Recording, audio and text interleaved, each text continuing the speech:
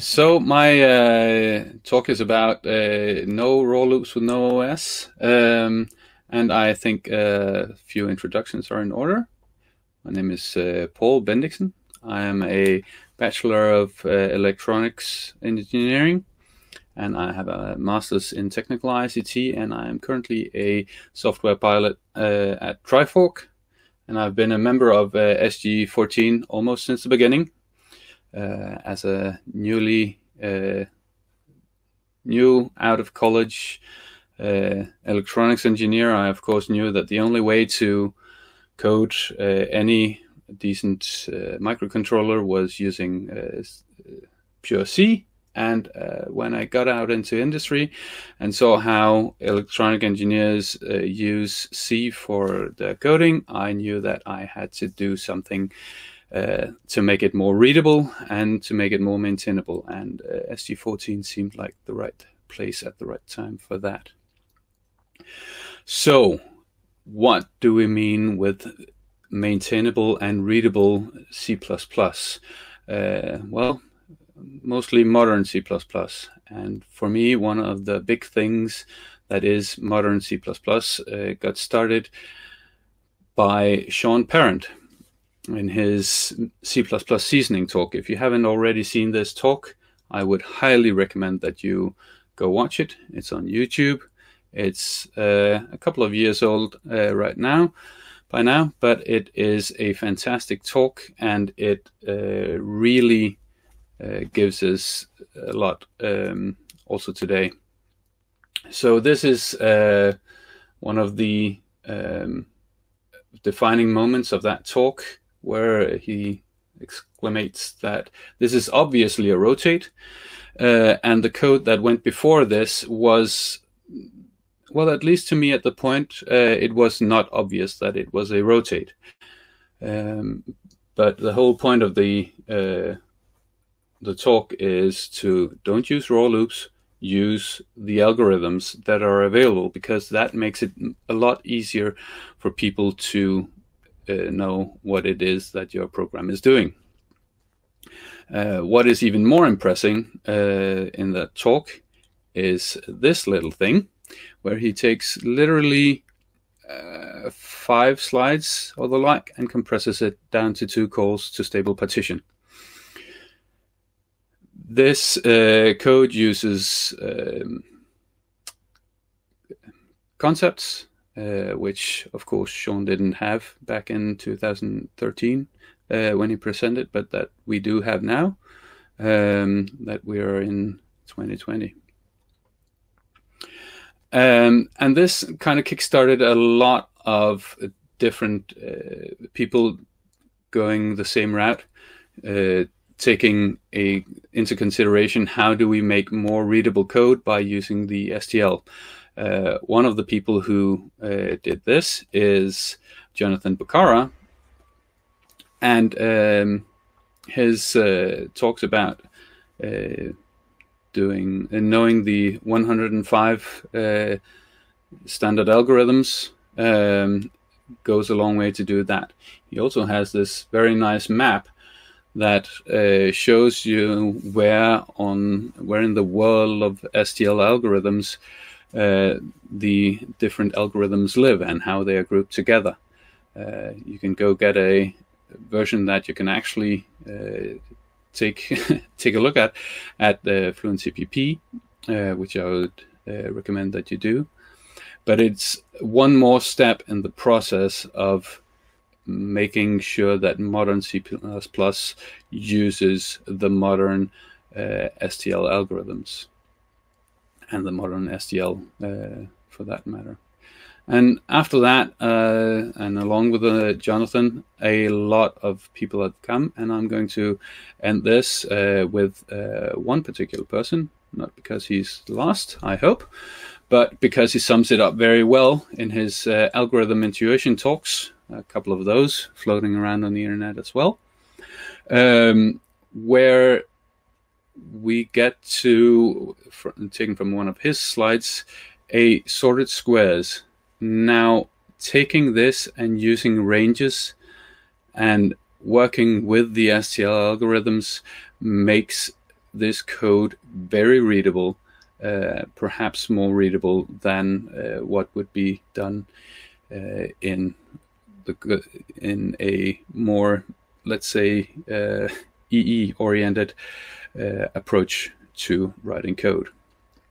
So let's all just uh, use the STL and there will be no problems. Well, not necessarily, because uh, we in the embedded field are, of course, special snowflakes, just like everyone else, and we can't use all the nice things. For example, a lot of uh, embedded projects don't allow usage of the heap. And the reason for this is, of course, uh, amongst others, fragmentation of the memory that we have finite memory to deal with. We can't just assume that the system that we are on will have enough memory. Uh, and of course, the non-determinism, uh, non-determinism of uh, allocating memory. Uh, if we are in a real time or just a very constrained uh, environment, this can really hinder um, our program's correctness uh, if suddenly we need to go off and allocate some more memory. Another thing that's often uh, taken out is the exceptions. And mm, there are a few reasons for this, but mainly it comes back to the heap. Um, and non-determinism and fragmentation and let's not repeat ourselves. And uh, finally, a third thing that is luckily getting less and less um, common that uh, to have as a problem is floating point. But there are still some problems regarding floating points. Uh, for example, if you're on a small enough machine, you might not have the FPU, which leads to large uh, library implementations. And if you don't have an FPU, it's probably because a floating point unit, uh, so uh, dedicated hardware.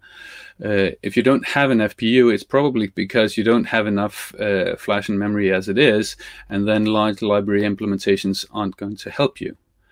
Uh, there's also the thing that we might be doing our own OS um, in some of these, and in that case, touching the floating point registers um, might hinder user space if we are writing the kernel space uh, in working correctly and make some very interesting bugs.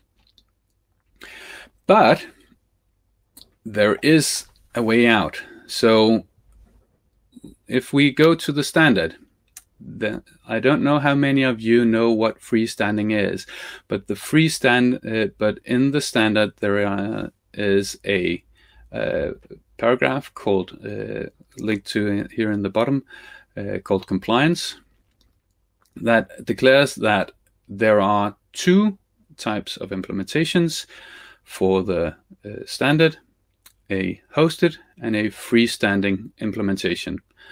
And for the hosted implementation, everything that is in the standard must be in the hosted implementation. For the freestanding uh, implementation, the parts here in table 24, it jumps around as the um, standard gets upgraded. Uh, other things that are in here. And as you can see, we have uh, stuff that we really like and love, like dynamic memory management and exception handling. Um, but we also have some uh, quite nice uh, things in here uh, for use in the uh, embedded domains, such as the concepts and the type traits, um, the bit. Um, and of course the uh, standard is the C standard library. Now, this doesn't get us very far in using the STL because if we can only use these parts, well, there's some bit manipulations, but it doesn't really give us all the nice algorithms that uh, Sean and the others are talking about. So there is a proposal Actually, there are by now quite a few. Uh, the P0829 by Ben Craig uh, was proposed uh, in order to add everything to the freestanding implementation that can be used without an OS call and without space overhead. Uh, Ben's primary goal for this is for working in the uh, Windows kernel, as far as I recall, but this is exactly what we would like to have in the uh, embedded space as well. Now he goes on to motivate this. Um, I would uh, recommend that you go watch his uh, uh, talk from EMBO in 2018. I was there, and that's where I got inspired, but the motivation of the entire system is uh, of the entire proposal is that system programmers don't have a guide as to what C++ libraries will work for them. Um, so it should be such that a freestanding implementation would provide clarity and help for programmers. Currently, uh, the proposal initially wasn't uh, too well received. Uh, report of go back and fix some things was given, and it's currently being chopped into smaller, more easy to uh, pass proposals. Uh, currently, there are these two uh, proposals regarding the library, and there are more to come.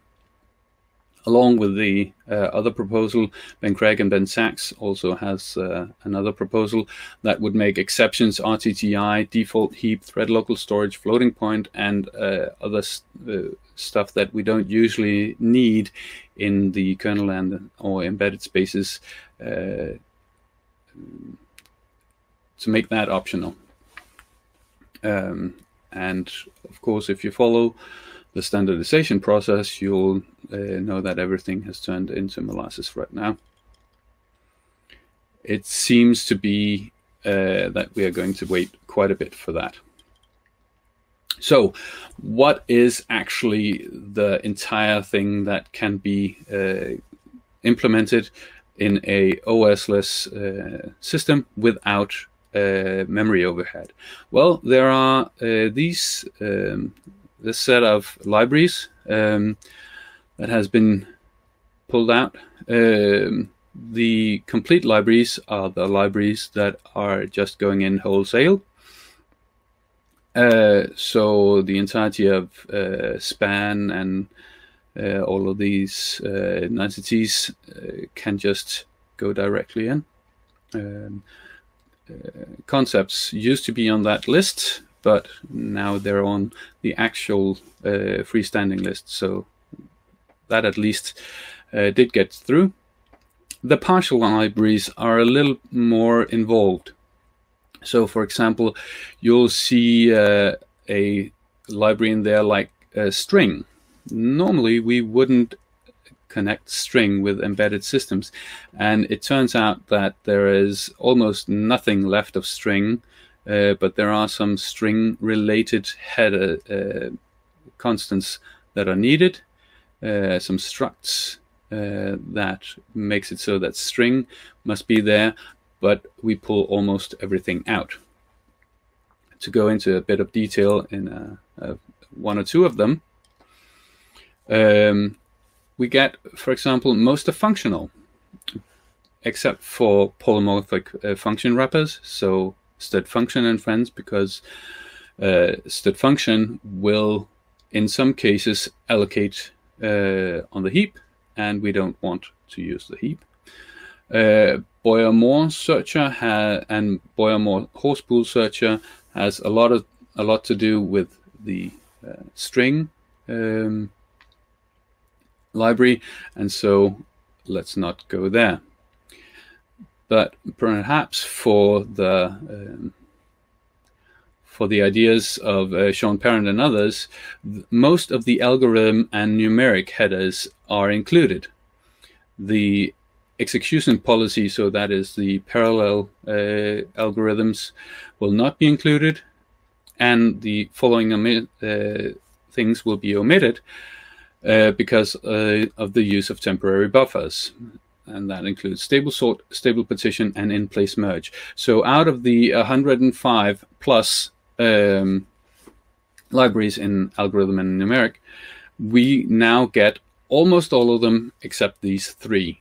Of course, stable partition is in there, but uh, that is uh, something we'll revisit in a bit. So, I got very excited when I first saw uh, Ben Craig's talk. And I went up to him after the talk and I asked him, So, where is the implementation? And he said, Well, there really isn't one. Uh, I've mostly been doing around with uh, compiler flags in MSVC, and I couldn't really use that. And the thing is, I kind of needed it for my own pet projects, using primarily the AVR processor families. Family. Uh, the AVR processor is an 8-bit micro- microcontroller. It has a huge family variation. There are a lot of these. They've been going on for forever.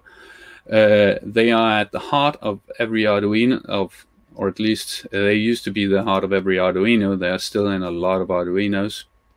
So there's a lot of cheap, cheap, cheap hardware that's very easy to get a hold on and very easy to start working on. It uses a GCC compiler and there is no C++ standard library whatsoever in any of the regular uh, distributions that you will get of the GCC compiler. You have to compile it yourself.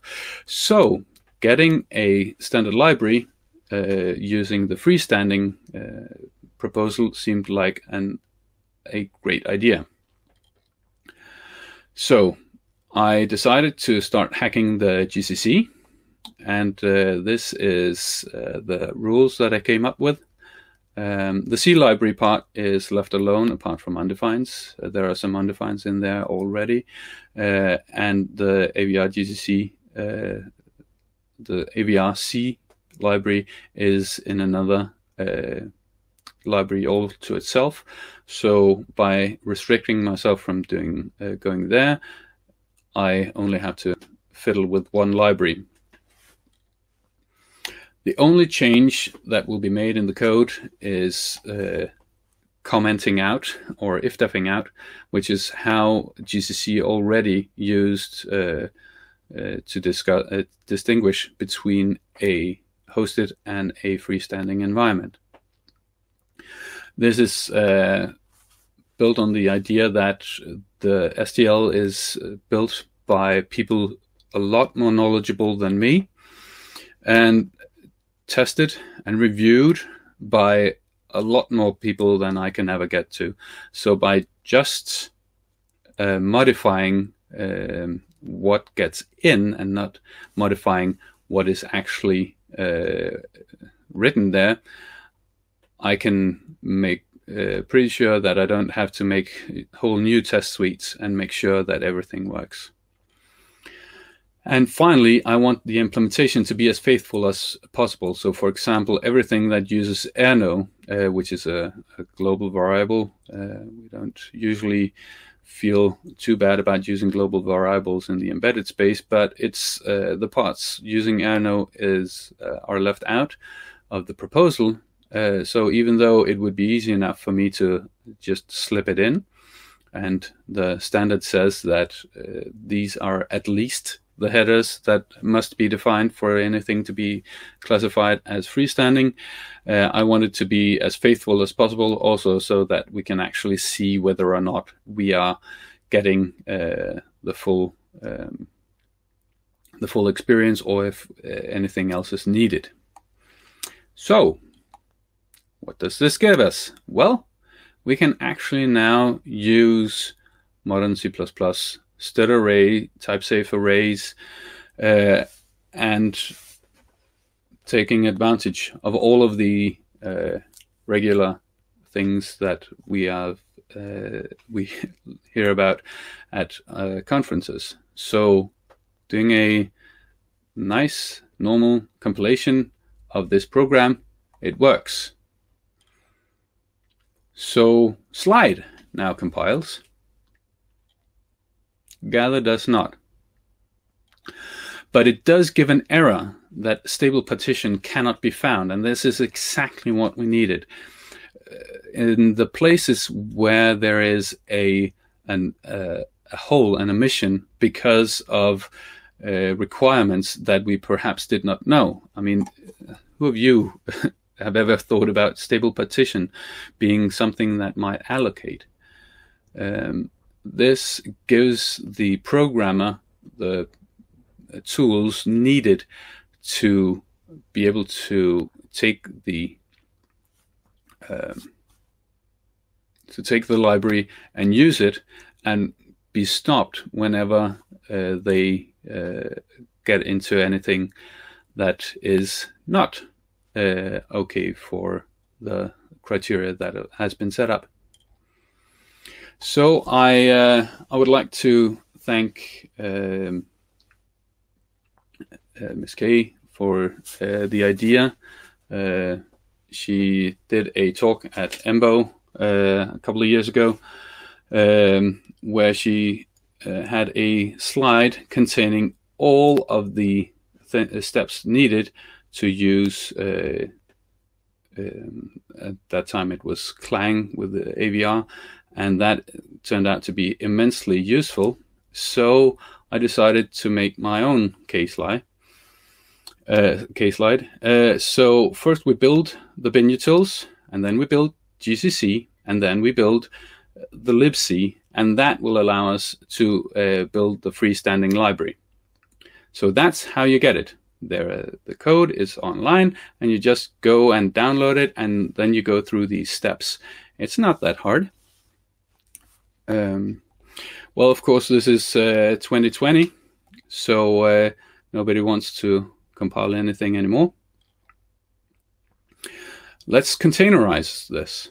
Uh, and I would like to extend my thanks, my warmest thanks to Krusty Auklet uh, from the uh, CPP Lang Slack, who took my um, my Docker files and uh, decided to maintain them using an Ubuntu version of uh, Docker, so that um, whenever you pull these uh, these uh, Docker files, you will have a complete AVR with libs uh, std C++ uh, according to the freestanding library.